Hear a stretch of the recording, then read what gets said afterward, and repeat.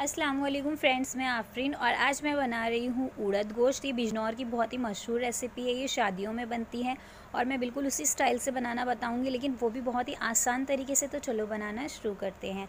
बिसमीम तो यहाँ पर सबसे पहले मैंने ये उड़द ले लिए हैं। उड़द लगभग 300 ग्राम लिए हैं मैंने और इन्हें एक घंटे के लिए पानी में भिगो दिया था ताकि ये मुलायम हो जाए।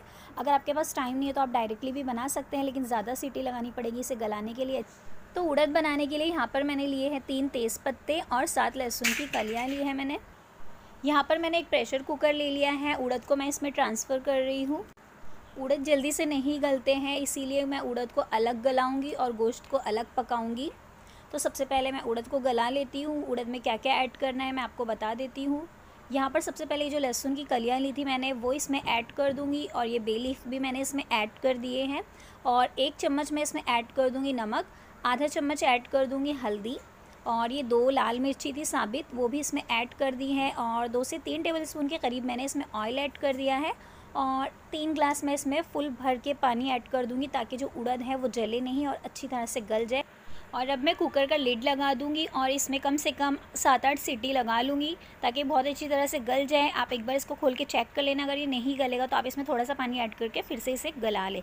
यहाँ पर अब मैं गोश्त कैसे बनाऊँगी बता देती हूँ। यहाँ पर मैंने आधा किलो गोश्त लिया है, इसमें मैं ऐड करूँगी तीन मीडियम साइज़ के प्याज लिए हैं और एक छोटा सा टमाटर लिया है, एक बड़ी इलायची ली है और एक चम्मच लिया है मैंने भरकर ज़ीरा।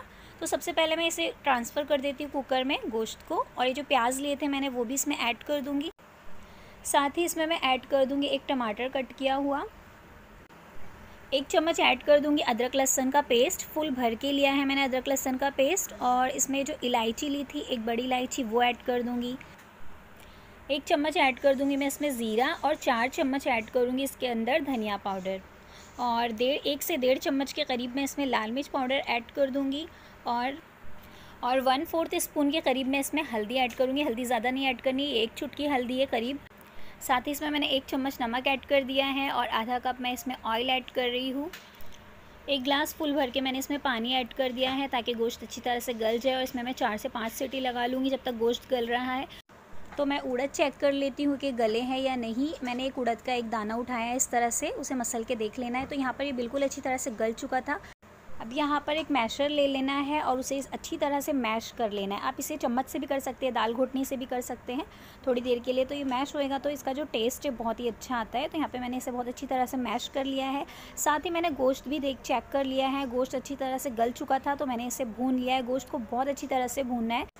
जब ऑयल सेपरेट हो जाएगा, अच्छी तरह से गोश्त भून जाएगा तो मैं इसमें जो उड़द लिए थे, वो इसमें ऐड कर दूँगी और इसे अच्छी तरह से मिक्स कर लूँगी और कम से कम इसमें ऐड कर दूँगी तीन गिलास पानी और इसको एक खौल आने तक अच्छी तरह से पका लूँगी। जब इसमें एक खौल आ जाएगा तो इसमें मैं ऐड कर दूँगी एक इंच का कटा हुआ अदरक स्लाइस में और थोड़ा सा हरा धनिया हैंडफुल हरा धनिया इसमें ऐड कर दूँगी और दो तीन हरी मिर्चें ऐड कर दूँगी। साथ ही इसमें ऐड कर दूँगी आधा चम्मच गरम मसाला गरम मसाले से इसमें बहुत ही अच्छा फ्लेवर आएगा, ये ज़रूर ऐड करना है। इसमें ये मेरा होममेड गरम मसाला है, मैंने इसे घर में ही बनाया था। आप चाहे तो वीडियो का लिंक मैं डिस्क्रिप्शन में दे दूँगी, वहाँ से आप चेकआउट कर सकते हैं। और इसे अब मैं पकाऊँगी लो फ्लेम पर, कुकर का लिड लगा दिया है मैंने और इसे लो फ्लेम पर कम से कम 20 मिनट के लिए पका लूँगी। इसे जितना धीमी आँच पर आप पकाएँगे, काफ़ी टाइम तक उतना ही अच्छा इसमें टेस्ट आएगा। आप देख सकते हैं इसकी कंसिस्टेंसी कितनी थिक हो चुकी है। अगर आप बिल्कुल इसी तरीके से उड़द गोश्त बनाते हैं तो यकीन जानिए इसका टेस्ट बहुत ही ज़बरदस्त आने वाला है। यहाँ पे मैंने इसे ऊपर से थोड़ा सा गार्निश कर लिया एक बाउल में निकाल के। तो अगर आपको ये रेसिपी पसंद आई हो तो वीडियो को लाइक, शेयर एंड चैनल को सब्सक्राइब करना, बेल आइकन को ज़रूर प्रेस कर देना, ताकि इसी तरह की आसान रेसिपीज़ आप लोगों को मिल सके। तो थैंक्स फॉर वॉचिंग, अल्लाह हाफिज़।